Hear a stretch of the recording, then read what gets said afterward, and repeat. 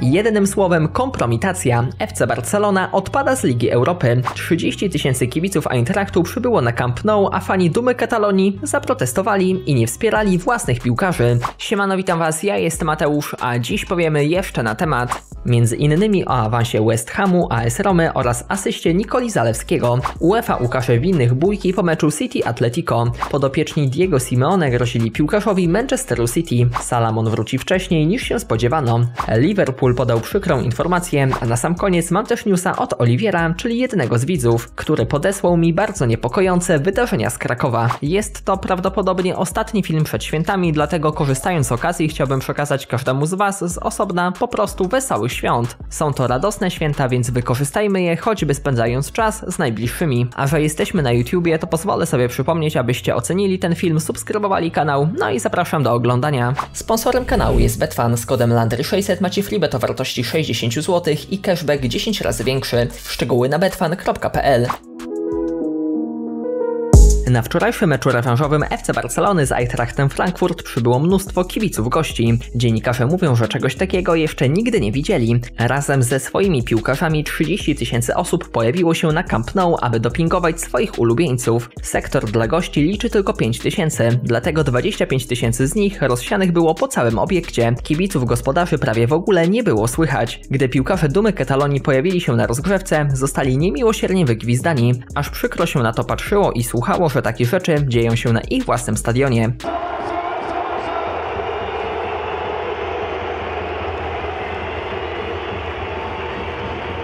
Gorzej było już po tym, jak arbiter zakończył pojedynek. FC Barcelona przegrała 3 do 2 i pożegnała się z Ligą Europy. Takiego rozstrzygnięcia dwumeczu chyba nikt się nie spodziewał. Goście prowadzili już od trzeciej minuty. Bramkę na 2 do 0 zdobyli w minucie 36. Wtedy fantastycznie z dystansu huknął Rafael Santos Boré. Ter Stegen co prawda próbował, ale był bez szans. Po ponad godzinie gry chyba fani FC Barcelony stracili resztki nadziei. Kostic zdobył drugą bramkę i podwyższył wynik tej rywalizacji na 3 do 0. Pomimo tego już w doli doliczonym czasie gry FC Barcelona potrafiła zdobyć dwie bramki. Trafił Sergio Busquets z dystansu oraz Memphis Depay z rzutu karnego. Arbiter także miał ręce pełne roboty, bowiem ukarał żółtymi kartkami aż 10 piłkarzy, a jednego gracza Eintrachtu wyrzucił nawet z boiska. Niestety mecz z kontuzją zakończył Pedri. Wstępnie mówi się, że na boisku nie zobaczymy go nawet przez dwa miesiące, a to oznacza, że na murawie pojawi się, ale dopiero w kolejnym sezonie. Tak porażką w tym meczu skomentował trener FC Barcelony, czyli Xavi. Oczywiście to wielkie wielkie rozczarowanie dla mnie i dla drużyny, ale chcę myśleć, że to część procesu. Jesteśmy zawiedzeni i wkurzeni, bo mieliśmy wielkie nadzieje, ale musimy pozostać na tej ścieżce, na której jesteśmy od listopada. Potraktujemy to jako nauczkę. Mamy jasny cel, jakim jest awans do Ligi Mistrzów i postaramy się tego dokonać w ostatnich 8 meczach tego sezonu.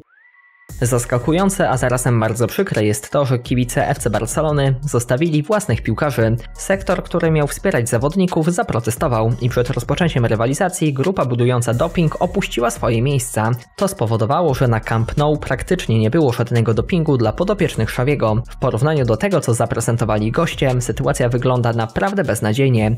Joana Laporta już zapowiedział wyciągnięcie konsekwencji i zmiany w zasadach dostępności biletów, aby takie sytuacje już nigdy się nie powtórzyły Wprost powiedział, że to co działo się na trybunach to jeden wielki wstyd. To, co się stało na trybunach jest bardzo niepokojące. To wstyd, co widzieliśmy. Takie rzeczy nie mogą się powtórzyć. Mamy dużą część informacji na ten temat. Potrzebujemy czasu, aby je przetworzyć i podjąć odpowiednie środki. To, co się stało, było oburzające i zawstydzające. Nie mogliśmy temu zapobiec w tej określonej sytuacji. Będziemy jednak musieli być teraz dużo bardziej restrykcyjni i nie pozwolić, żeby takie sytuacje się powtórzyły. Pozwól mi jednak, żebym tego nie precyzował, ponieważ musimy zebrać wszystkie informacje z obszarów odpowiedzialnych za bilety i bezpieczeństwo, a także je ocenić. Wszystko wskazuje na to, że doszło do sytuacji niepożądanych. Podejmujemy działania i wyjaśnimy dlaczego tak się stało. Jako barcelonista czuję się zawstydzony tym co widziałem. Bardzo mi przykro z powodu tego co się stało. To wstyd.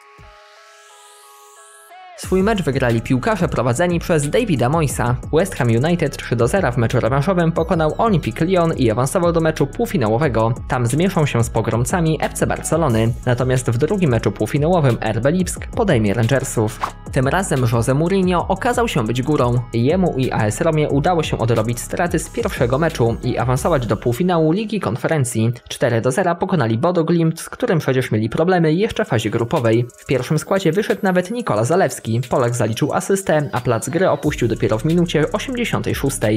UEFA zapowiada, że wyciągnie konsekwencje wobec osób, które uczestniczyły w bójce po meczu Atletico Madryt-Manchester City. Zostały opublikowane kolejne nagrania z tego wydarzenia. Przepychanka rozpoczęła się tuż przed tunelem. Widać jak Kyle Walker odpycha jednego z pracowników Atletico. To jest prawdopodobnie jeden z asystentów Diego Simeone. Na to zareagował Versalico, no i się zaczęło. Przechlapane może mieć chorwacki obrońca, bowiem nagrania samego tunelu pokazują, że rzucił czymś w kierunku rywali, a to najprawdopodobniej był but oraz próbował kogoś opluć. Te nagrania ma badać UEFA i w kolejnych dniach, być może tygodniach, możemy spodziewać się aktualizacji w tej sprawie. Jak już dokładnie wiemy, rywalizacja pomiędzy City i Atletico w pierwszym, a także tym drugim meczu była zacięta i niestety bardzo agresywna. Szczególnie było to widać w tym drugim, rewanżowym meczu.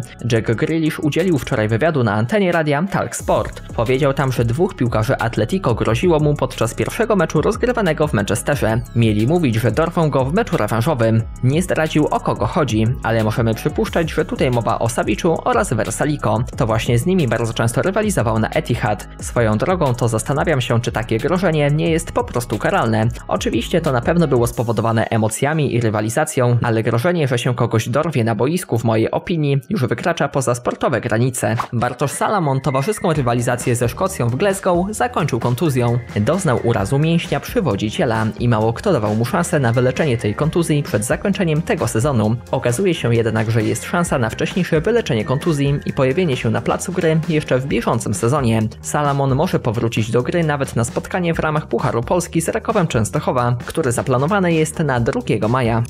Niestety Liverpool przekazał bardzo złą informację. Przed meczem rewanżowym z Benficą jeden z kibiców obecnych na stadionie zasłabł. Pomoc została udzielona mu natychmiast. Po chwili byli przy nim ratownicy, którzy karetką zabrali go do szpitala, ale tam niestety lekarzom nie udało się go uratować. Klub przekazał rodzinie i bliskim wyrazy współczucia. Oby na stadionach było jak najmniej takich przykrych sytuacji. Wczoraj Olivier, czyli jeden z widzów, podesłał mi bardzo niepokojące nagranie. Widać na nim awanturę na trybunach. Okazało się, że była to rywalizacja w grupie D Centralnej Ligi Juniorów U17. Krakowia mierzyła się z Wisłą Kraków. Wynik tego meczu tak naprawdę jest najmniej istotny, bowiem tak możemy przeczytać. To uczucie, kiedy derby i alkohol wejdą za mocno. Podczas meczu drużyn do lat 17 pomiędzy Wisłą Kraków a Krakowią doszło do nieprzyjemnego incydentu z jednym z kibiców Krakowi, który naruszył nietykalność cielesną piłkarza Białej Gwiazdy. Naprawdę bardzo dziwi mnie to, że do takich sytuacji dochodzi, szczególnie w meczu młodzieżówki. Nagranie z tego spotkania ponoć zostało usunięte, tak więc ktoś ewidentnie próbuje tuszować ślady, ale jak sami widzieliście, zachowały się nagrania prywatnych osób. A jeżeli wy macie jakieś ciekawostki i uważacie, że one powinny znaleźć się w kolejnym materiale, to wysyłajcie mi je na Instagrama, Landrety, link macie w opisie tego filmu. No i standardowo na sam koniec o tym, co nas dzisiaj czeka.